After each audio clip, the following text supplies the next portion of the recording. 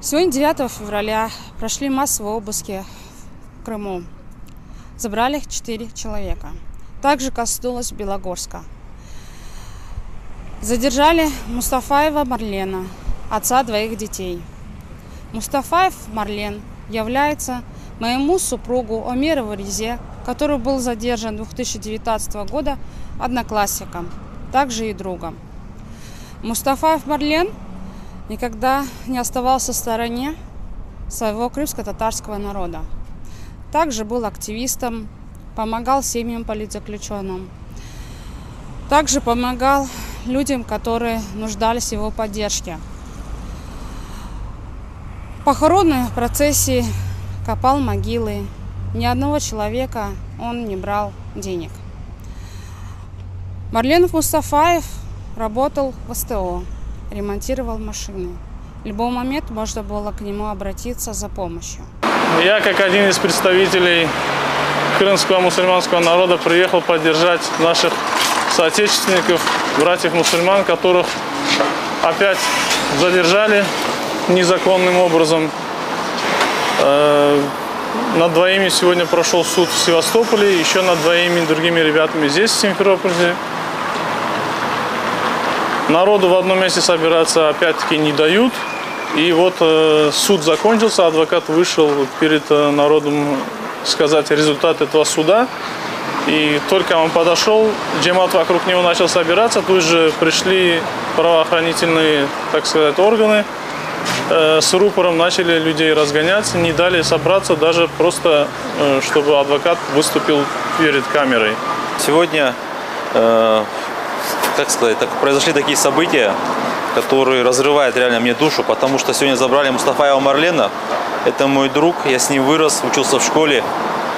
Э, просто хочется сказать позор всей э, стране, где живут такие граждане, которые защищают этот весь строй, где сажают таких людей, как Мустафаева Марлена. За Мустафаева Марлена не найдет ни одного человека, кто скажет плохо. Он всем помогал, он э, занимался такими делами, которые многие просто-напросто за деньги, он, как говорится, бесплатно. Просто удивляет то, что люди воруют вагонами, как говорил да, в бандитском Петербурге. Их никто не трогает, они сидят у власти. А те, которые делают благие дела, их просто-напросто гребут. День начался с 4 утров, утра с обыска. Э, Мы стали сегодня рано, э, так как приехали в Симферополь, так как узнали, что сегодня э, идут судебные заседания в отношении крымских татар, в отношении крымских мусульман. Также пришли поддержать, услышали, пришли поддержать их. э, Не остались в стороне и не хотим оставаться в стороне.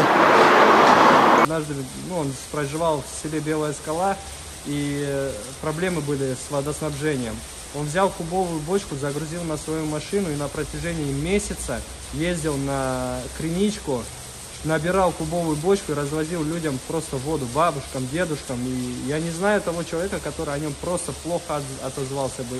Это даже уму неподлежимо, да, э, человека обвинить в терроризме, при этом все его знают исключительно как помощника, да, ну, среди людей такая шуточная, как бы его э, кличка была, да, э, помощник всех угнетенных. То есть он всегда бежал первым и помогал людям, да, и э, у любого спросите, кого вы встретите в Белогорске, ведь вообще по Крыму его очень многие люди знали и исключительно с положительной стороны. Он в Белой скале относительно недавно построили мечеть, он захотел построить там Аббес-Хане за свои личные деньги, то есть э, и он практически его выстроил, чуть-чуть осталось, да, и этот Аббес-Хане сейчас в недостроенном положении, да, и э, вот такой он человек, он всегда старался для людей, а не для себя. А, Мы сегодня вместе с коллегой Энвером Алимовым прибыли, прибыли на судебные заседания в Киевский районный суд Симферополя а, для того, чтобы участвовать в них в качестве корреспондентов. Я планировала работать с текстовой трансляцией, Энвер Алимов планировал, планировал работать как видеооператор и фотограф. А, Мы заблаговременно подали в суд ходатайство Однако, когда мы созвонились с помощником секретаря судьи, судья Крабко, а, нам сообщили о том, что наши ходатайства даже не передали судье из канцелярии.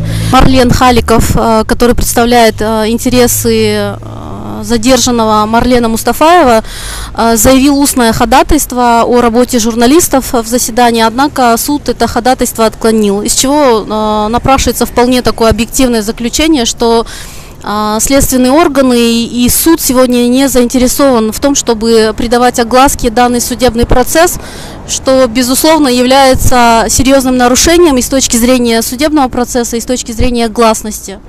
А, Сейчас рассматривается уже а, второе дело, дело Амитхана Абдульвапова. Мы также не можем попасть на это заседание. Сегодня а, в Киевском районном суде города Симферополь состоялось судебное заседание по делу а, моего подзащитного Мустафаева Марлена Рамисовича.